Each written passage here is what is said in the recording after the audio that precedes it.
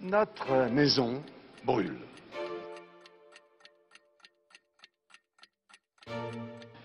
Et nous regardons ailleurs. Nous ne pourrons pas dire que nous ne savions pas.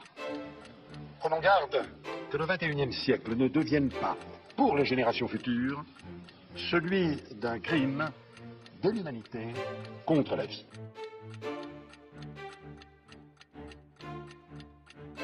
On l'oublie souvent, mais l'urbanisation de masse est un phénomène récent à l'échelle de l'humanité. L'expansion du commerce, le progrès technique ou encore les mutations socioculturelles ont transformé les premiers regroupements humains en gigantesques espaces urbains. Les métropoles ont été les foyers de cette urbanisation planétaire.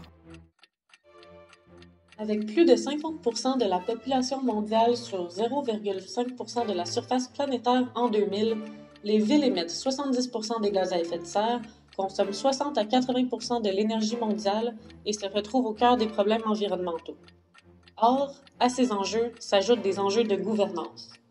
La lenteur et la faiblesse perçue des solutions proposées en bottom-up par les gouvernements ne convainquent pas les populations. Alors certains décident de prendre les armes. Dans les fissures urbaines laissées par la désindustrialisation, ils réinventent, à l'aide de pelles et marteaux, un nouveau modèle de gestion, les communs. Mais qu'est-ce qui se cache derrière ce mot qui peut sembler banal? Ce sont des ressources dont l'accès est partagé et dont la gestion collective se fait au travers d'une communauté de personnes et d'un ensemble de règles, dans une recherche d'alternatives pérennes pour la préservation des ressources et du lien social.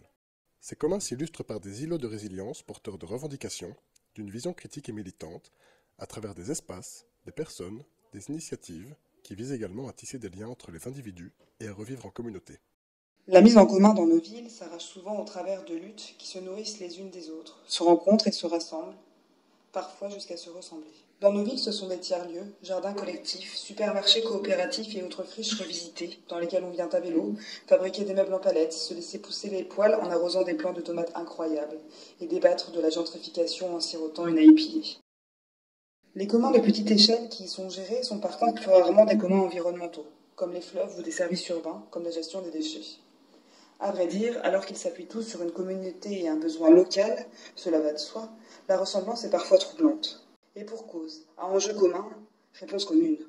Alors les communautés viennent s'observer et mettre en commun leur savoir pour que la lutte continue. Si l'on parle de lutte contre la propriété, l'appropriation du modèle par les collectivités et les promoteurs, pour des enjeux financiers et d'image, brouille un peu les pistes. Une analyse métabolique des flux matériels de ces communs dans leur ville conclurait probablement à souligner la nature lilliputienne de l'ensemble de ces initiatives. Mais ce serait faire abstraction de l'impact de ces middle ground sur la capacité circulaire des villes qui percolent vers les institutions, forment des individus curieux et fédèrent des initiatives underground.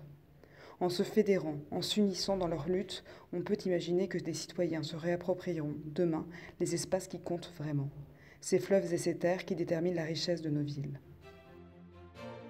Au regard de leur croissance, de la différence de leur trajectoire et de la puissance de leur lutte, il serait bon, aussi, de les regarder ce qui se joue dans les villes du Sud.